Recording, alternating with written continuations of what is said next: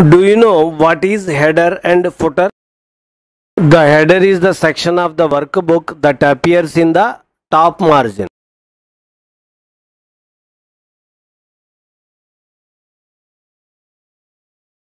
While the footer appears in the bottom margin.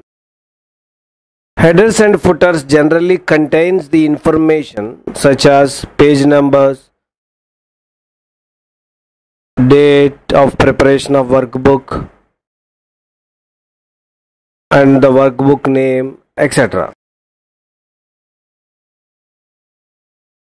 Now let us see how to add header and footer to an Excel worksheet. Click on insert tab and click on header and footer command in the ribbon menu. See there are three placeholders appeared in the header margin and type desired text in it. In middle placeholder I am typing contact list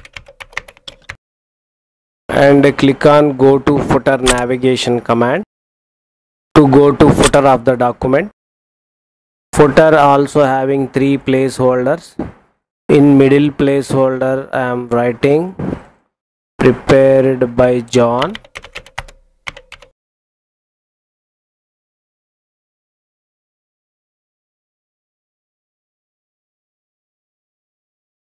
Click on go to header navigation command.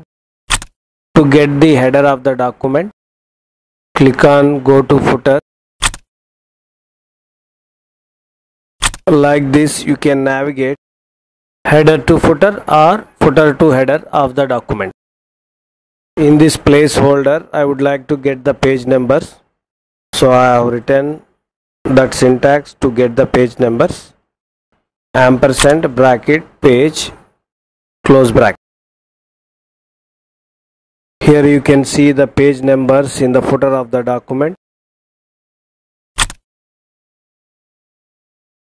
You can scroll down the document to see further page numbers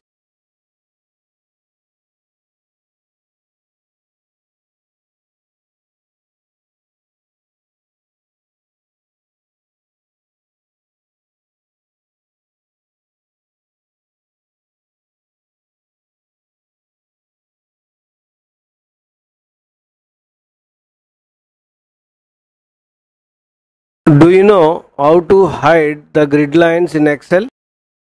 Let's see. Go to View tab.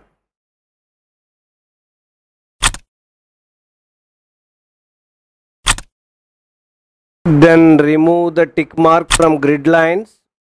Then grid lines will disappear from Excel spreadsheet. When you want the grid lines back, tick mark the grid lines option again. Do you want to remove the formula bar from the Excel spreadsheet?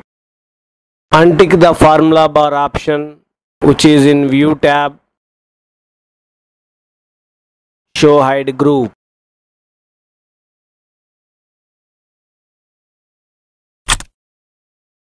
Tick the formula bar option to get it back.